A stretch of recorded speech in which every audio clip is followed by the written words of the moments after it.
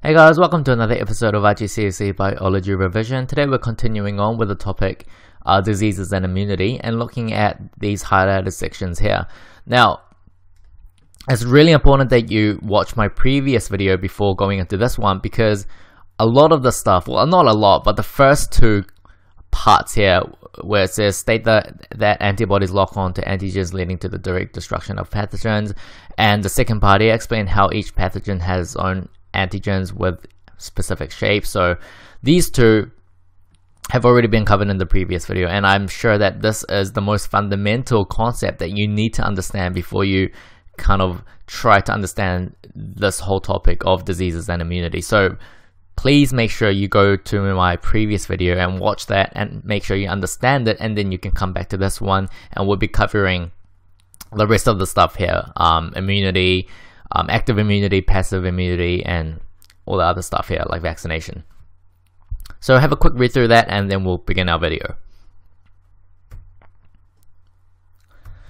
so what is active immunity well if you've watched my previous video and you should be familiar with this huge flowchart here? Well, that is active immunity, which is the immunity that results from the production of antibodies in the presence of an antigen.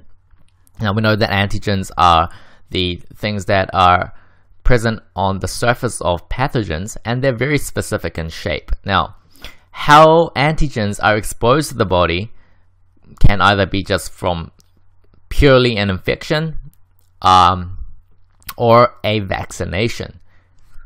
So you probably have heard of the word vaccination before, but basically, if there's a certain disease out there, for example, disease A, and disease A is caused by pathogen A that has antigen A on its surface. Okay, now what a normal reaction would be would be you, you get exposed to that pathogen and you develop immunity against that. Okay, so eventually, you know, you, you'll have lymphocytes that match that certain pathogen and it releases antibodies and then our body will will get sick, but eventually we should develop some kind of immunity against that and, you know, it, should free us from being um, unhealthy for the rest of our lives because we develop immunity against that. Now, some diseases are more detrimental than others. Okay, so if we if we don't really well, if we for example let's talk about disease B now and disease B is some kind of disease that kind of makes you really really really really sick. And honestly none of us want to be that sick in the first place. Eventually we might develop some kind of immunity against it but why go through that in the first place? Therefore we use this thing called vaccination. Um, now what is this thing here? Now, vaccination um, is basically you manually expose yourself to a certain pathogen which has a certain antigen. Okay, so if we're talking about disease B, instead of us randomly getting exposed to an environment, we give ourselves, or the doctors will give you, a harmless version of that pathogen so that our body um, reacts to that um, and therefore triggers an immune response so that our lymphocytes produce certain antibodies to counteract that pathogen. So therefore, if you have that immunity against that from being exposed to the harmless version of that pathogen, then first of all, you won't get sick, and second of all, you'll have developed immunity against that certain disease so that when you go out into the public or into the environment that which in which you're in and you get exposed to the real live version of that pathogen, your body has already developed immunity to counteract that. So therefore, we won't get sick as a result. And another thing is when when you vaccinate yourself and you're exposed with any type of pathogen and any type of antigen that comes with that.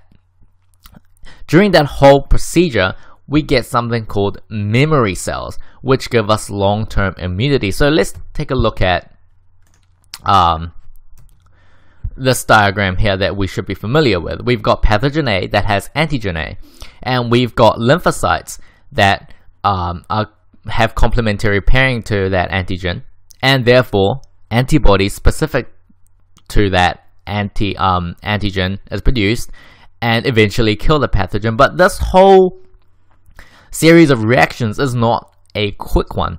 Okay, it can take I don't know. Uh, uh, there's no specific time frame or anything like that, but this is not a fast process. For example, if you get a common flu, that flu can last a week or two before it actually goes away. That's how long it takes for your body to develop immunity against that certain flu. Okay, so if that flu was caused by pathogen A, let's just say it, it took one week for this whole process to come through to have enough antibodies to counteract that. Now, eventually these antibodies go away, they don't last forever. Okay, and so, however, during this procedure or during this reaction, we also get something called memory cells.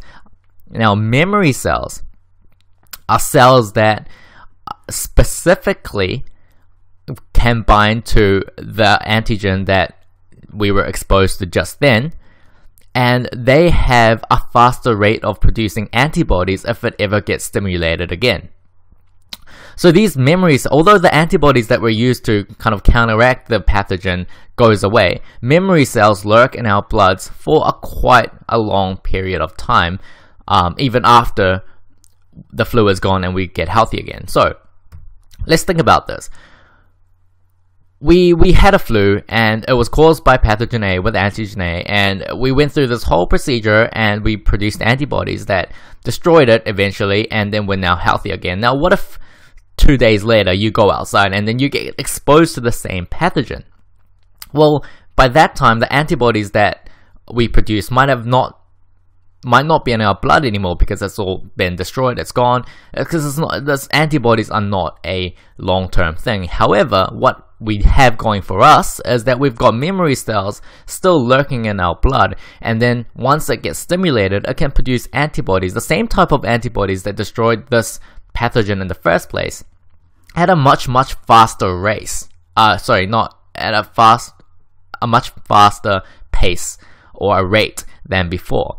So this whole process might have took one week, but with memory cells, these guys can produce antibodies so quickly that it'll only take like a couple of hours or even a day um, to produce enough antibodies to destroy the pathogen. So therefore, we don't. It's very unlikely that you'll get caught with the same type of flu consecutively because we have this long-term immunity within us. So, that was active immunity. So what is passive passive immunity? Well, passive immunity is a short short-term immunity resulting from the introduction of antibodies from another person or an animal. And a very common example of this is from mother to infant via breast milk. Breast milk contains antibodies and other immune um, cells that kind of help the infant with their own immunity because infants are not developed enough to produce their whole um, immune cells and everything. Um, so they're much more prone to getting, you know, diseases and stuff like that. So therefore, breast milk is very important in order for the infants to be healthy and have the immunity that they require in order to not get diseases from the environment. And one important thing about passive immunity is that they don't um, generate memory cells from this. You only generate memory cells when you go through this whole procedure of getting exposed to the antigen and um, having the lymphocytes get uh, stimulated and stuff like that. So, last one, type 1 diabetes. If you're not familiar with this, it's basically when the pancreas cannot um, generate the insulin, or even when it's because uh, yeah, sorry, uh, the pancreas can't generate insulin, and insulin is needed to control blood sugar levels. Now, the reason why they can't is because our own immune system attacks the cells that make insulin. Okay, the details of this I'm sure you don't need to know, but you just need to know that some diseases like this is where our own immune system attacks our own cells, and that, that's called an autoimmune disease. So once again, thank you so much for watching, and um, I hope that that cleared up some of your, you know, um, questions and whatnot about the disease um, and immunity topic. It is a hard topic, but um, I'm sure if you kind of watch my videos a couple of times and you do some extra research on Google and textbooks and stuff like that, you'll you'll be fine. Cool. I'll see you next time.